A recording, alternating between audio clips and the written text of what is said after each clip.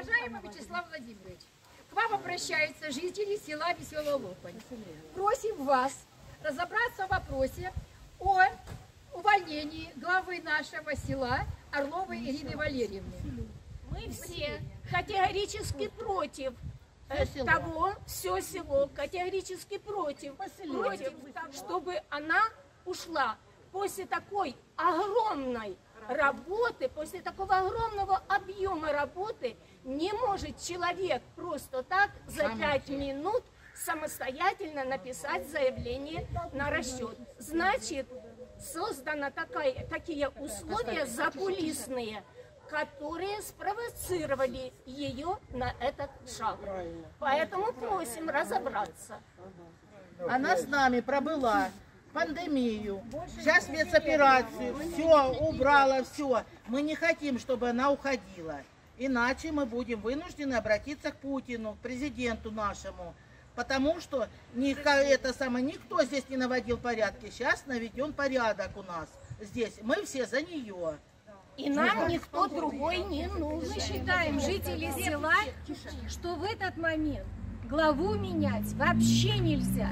И за кадрами, за своими порядочными кадрами, которые выполняют работу, которые привели в село в такое состояние. Мы были, жили как в гадюшнике. Сейчас у нас везде порядок, красота.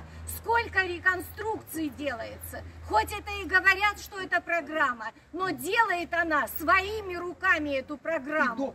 И, договаривается со всеми сама. Она, она сплотила коллектив хороший, который работает на пользу нам, народу. Ее выбирали для народа. Поэтому нужно спрашивать у народа, и в чем она провинилась? Мы хотим узнать, почему такое давление. Она не могла просто так написать. Она все выполняла и работала очень хорошо. А вы и убили человека, испортили ей судьбу. Так не делается. Морально ее убили. Так не делают с хорошими работниками. И вы говорите, что она, вы благодарны за ее работу. Неправильно вы говорите. Это все неправда. И мы хотим узнать, кто такой Перцев, кто такой Щендрыгин. Мы хотим их видеть здесь. А вы, Вячеслав Владимирович Гладков, должны проконтролировать. Хороших работников не убирают тросчерком пера и говорят, что там очередь уже стоит на ваше место. Такого не бывает. А человек заслужил одобрение всего села. Надо собрать все, мы всех соберем. Уважаемый Вячеслав Владимирович, мы жители села Веселая Лопань и поселение, э, в которое входят еще три населенных пункта, это хутор Угрим, Водяной и село Долбино. Просим вас обратить внимание на вопрос, который задавался вам в соцсетях и который сейчас все люди пришли обсудить и поддержать нашу главу.